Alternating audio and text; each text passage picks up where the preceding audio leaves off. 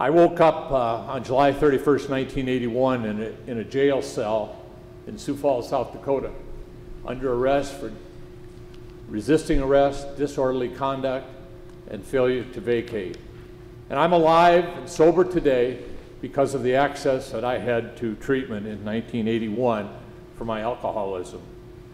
But despite the legislation that Paul Wellstone originally wrote, and then uh, Paul, Patrick and I worked on together for 12 years, legislation which was passed by Congress, as Patrick mentioned, and signed into law by President Bush in 2008, October of 2008, despite the fact it was enacted, hundreds of thousands of Americans today in health plans are being denied their rights under the federal parity law. Unfortunately and tragically, tragically, many insurance companies have put plans in place that circumvent the parity law and interim regulations, thereby restricting patients' access to life-saving care. For example, many, many treatment health plans are excluding residential treatment for substance abuse. Other plans, as hard, hard as it is to believe, continue to require patients to fail first at outpatient before admitting them to inpatient.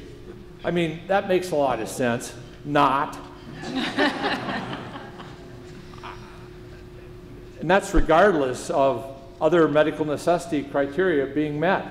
That's outrageous. And these other shameful, and they are shameful, they're blatant abuses by health plans are illegal and they must be stopped.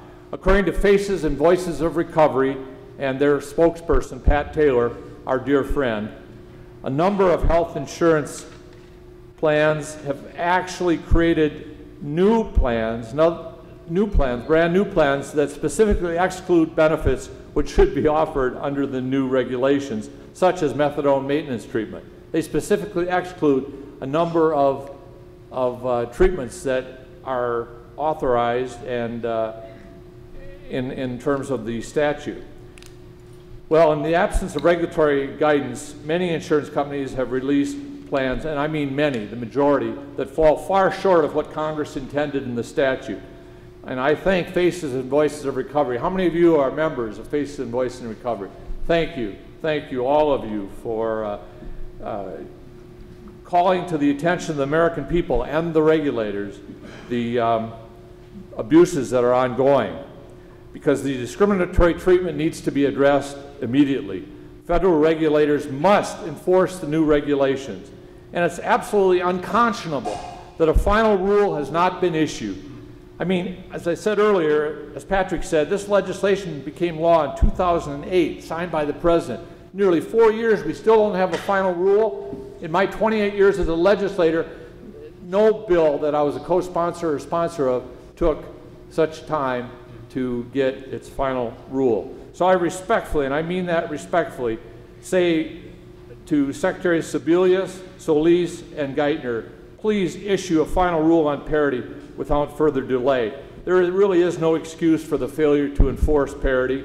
Access to treatment for people suffering the ravages of mental illness, chemical addiction is a life or death issue for millions of Americans.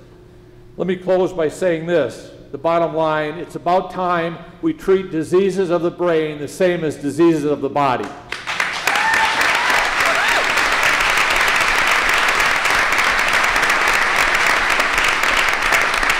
No more discrimination against people with mental illness or addiction. No more higher deductibles. No more higher copayments.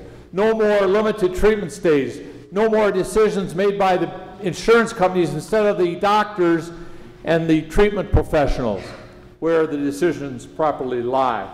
It's about time we have a final rule that ends this discrimination against people with diseases of the brain. Thank you.